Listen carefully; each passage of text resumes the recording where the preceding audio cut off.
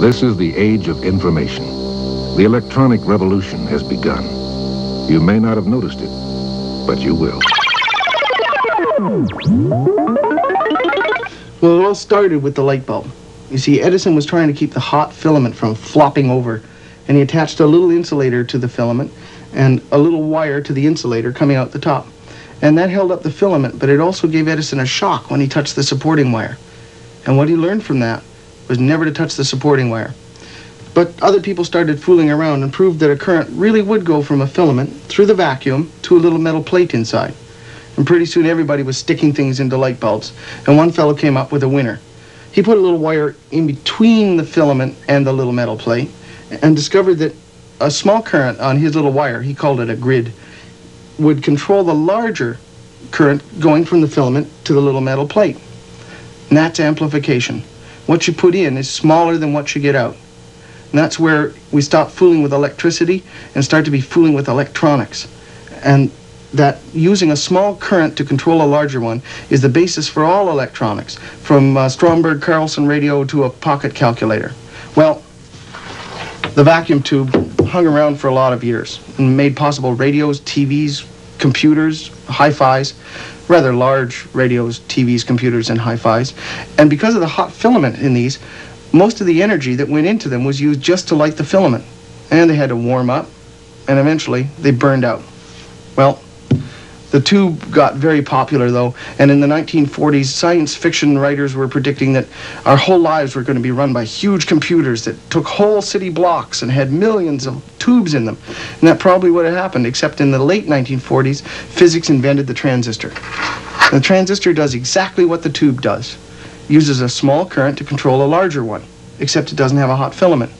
There's nothing to consume a lot of energy, it doesn't have to warm up, and it doesn't burn out. And the first transistors were so small, they had to be put into a package almost 50 times their size just so human beings could handle them. The first transistor circuits were called discrete. That's because they used discrete, that means individual, components. If you look in the back of your transistor radio, you'll see a discrete circuit where all the little parts are in their own little packages with their own little labels, all connected to each other by wires. Here's a discrete computer circuit.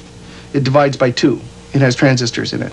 Uh, five of them will uh, divide by 10 and so forth and so forth. Most of the space in this is because each little component is in its own little package, all connected to all the other components. Now, if you're going to need a whole bunch of these, why not try to reduce them all into one package, all the little insides of those packages in one package, the integrated circuit. This little chip contains two of these divide by two circuits. Well, computers got smaller again. Well, the story gets repetitious here because, you see, these things are designed on huge sheets of paper. And then they're reduced, they're reduced photographically to their final size. So if you're going to need a whole bunch of these, like for a pocket calculator or something, why not try and put them all inside one package? Large-scale integration. Here's a Pong game we played with a few years ago. You put a quarter in it and you played ping pong on a TV screen. It uses 50 integrated circuits from a computer. Here's a Pong game you got for Christmas last year. It plays three games. Here's a pocket calculator. There's the chip that does all the computing functions. Now, the Pong, the original Pong game used uh, circuits from a, like were found in a computer, but the large-scale integrated circuits are unique.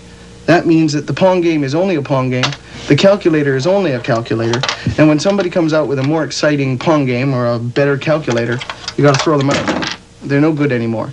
And they're cheap to make, but they're not so cheap to design. So the last breakthrough is really one of thinking rather than technology. It's called the microprocessor. It contains all the circuits to build a computer. And when you bring one home from the store, it doesn't do anything.